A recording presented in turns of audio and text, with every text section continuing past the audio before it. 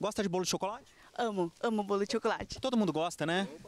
Você também, né? É bom demais. Já tinha falado. Ó, bolo de chocolate agora na receita da fazenda sem leite. Já imaginou isso? Vamos aprender a fazer? Fica gostoso, hein? Roda aí.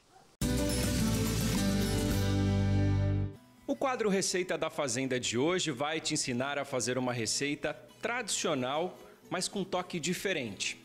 Com esses dias mais friozinhos, quem é que não gosta de um bolo de chocolate? Quem vai nos ensinar é a Tatiana. Tatiana, muito obrigado mais uma vez por nos receber aqui no Receita da Fazenda. Oi, tudo bom? Agora me fala uma coisa, por que que esse bolo é diferente? Então, para quem não pode leite, né, ele não vai leite. Ele vai água no lugar do leite. Então, quem não, não pode estar com leite e fica muito saboroso. E uma outra coisa que eu já percebi que a gente vai mostrar agora nos ingredientes é que ele também vai bicarbonato de sódio. Isso, ele vai um pouquinho e que deixa ele bem molhadinho, bem gostoso. Fica então dá esse toque aí no bolo tradicional de chocolate que a gente já conhece. Isso, mesmo quem não pode, é intolerante à lactose, pode estar comendo tranquilo. Então vamos agora ensinar passo a passo como é que faz? Vamos lá. Para a massa do bolo, você vai precisar de 3 ovos, 3 quartos de xícara de óleo, uma xícara de açúcar, uma xícara e meia de farinha de trigo, uma xícara de água morna, uma xícara de chocolate em pó, uma colher de bicarbonato de sódio e meia colher de sopa de fermento em pó. Primeiro, comece misturando os ovos, o açúcar, o óleo e a água morna. Tatiana, chegou a hora agora da gente colocar a água, né? E a água, ela tá aqui, ó, morna. Por que água morna? É que ela vai ajudar no óleo, porque como vai óleo não vai manteiga, né? A água morna ajuda a dissolver o óleo, os ingredientes e dá uma massa bem fofinha. Fica mais homogêneo. Isso, isso mesmo. Então vamos lá. Agora vamos colocar a água morna. E aí é misturar esses ingredientes? Aí é só misturar, só misturar os ingredientes. E depois a gente acrescenta os secos.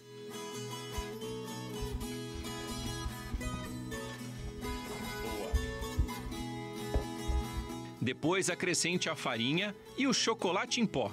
Agora chegou o momento de colocar o chocolate em pó. Esse que você está usando é o 50% cacau, Tatiana? Isso, eu gosto de colocar o 50% porque deixa o sabor mais acentuado do chocolate, né? Ele fica mais saboroso. Bolo de chocolate, claro, tem que ter esse sabor de chocolate. Isso, fica muito melhor.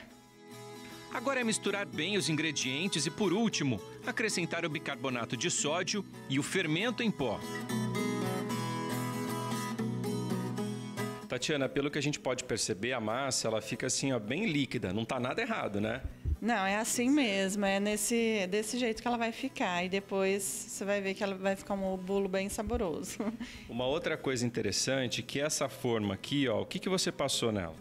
Eu passei manteiga, né? E, e de vez em ser farinha, a gente faz o chocolate também 50% em volta. Polvilho e chocolate. Polvilho e chocolate, no lugar da farinha. Vai ficar gostoso isso, hein? Vai, vai ficar bem. Não fica aquela marquinha branquinha, né, no bolo. O bolo fica inteiro marronzinho. marronzinho mesmo, não fica nenhum toquezinho de farinha. Agora a gente vai colocar o bolo aqui na forma e vai levar para assar. Isso, e você viu que não tem segredo também, né?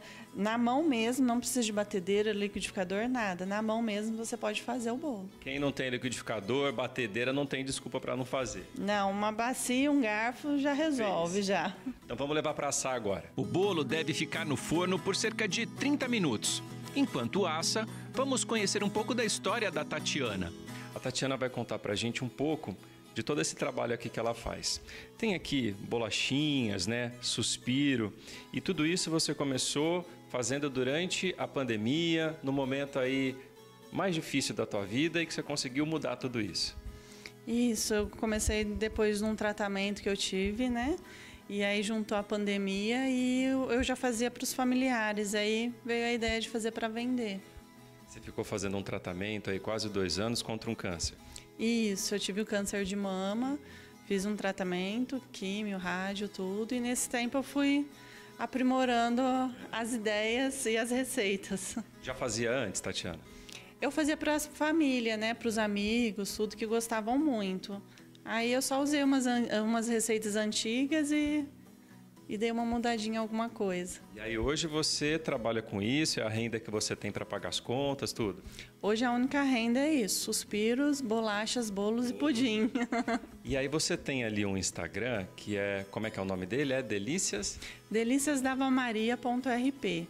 Aí lá tem todo o meu trabalho de suspiro, bolachas. Eu faço também para aniversário, tem lembrancinhas, tem bastante opção. Essas receitas também tem algumas receitas que eram da mãe? Tem, tem receitas de vó. Essa, inclusive, aqui, que é de bolacha de ninho, que é a receita da minha avó, avó. que também era Maria. Então, é o nome em homenagem a elas. Que legal. Bolo ainda no forno, a Tatiana começa a preparar o brigadeiro para a cobertura. Os ingredientes são uma lata de leite condensado, 25 gramas de manteiga, aproximadamente uma colher de sobremesa, e 50 gramas de chocolate em pó. A dica é misturar tudo numa panela antes de acender o fogo. Tatiana, o brigadeiro está pronto, né? Agora uma coisa que é importante as pessoas acompanharem, que não é aquele brigadeiro que vai ficar no ponto de enrolar, né? É, ele tem que ficar assim, com essa consistência mais molinha, né? Não pode ficar duro. Porque, inclusive, a hora que ele esfria, ele dá uma endurecida ainda mais. Então, você tem que parar, desligar a panela a hora que ele está molinho. É para jogar ali em cima do bolo ele escorrer. Isso, escorrer e entrar um pouquinho para dentro também. Bolo pronto, é só cobrir com um brigadeiro e servir. Bolo pronto, com a cobertura de chocolate, chegou aquele momento que é o melhor da reportagem. Tatiana, a gente conseguiu perceber, né, que quando você cortou a fatia, ele fica muito molhadinho. É, ele não precisa colocar mais nada nele, que ele, ele já fica bem molhadinho. Fica úmido assim, gostoso. Aqui para acompanhar um cafezinho tá feito. Um cafezinho ou um chazinho, né, para quem também. toma café. Eu vou pedir para você segurar um pouquinho o microfone agora que eu vou ter que experimentar isso, né? Vou fazer esse essa honra. Vamos lá. Você colocou até um pouquinho mais de brigadeiro aqui na fatia, né? Para poder sentir ainda mais o gosto do chocolate. Vamos lá?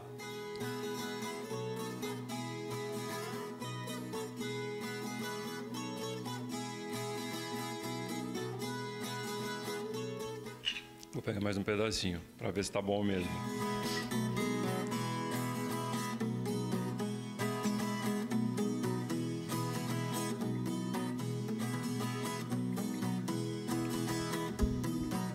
Tatiane, tá muito bom, viu? Parabéns. Delicioso esse bolo de chocolate. Certamente quem está em casa vai fazer e também vai gostar. É, ele tem várias vantagens, né? No leite fica bem molhadinho. E agora no friozinho, ou mesmo no calor, à tardezinha, é muito bom. Criança adora isso, imagino, né? Se adulto já come assim, imagina criança. Minha filha ama. É. Tatiana, obrigado mais uma vez pela participação aqui com a gente no Agro Record. Mais sucesso e até uma próxima oportunidade. Obrigada e volte sempre. Sempre tem receitas maravilhosas para vocês.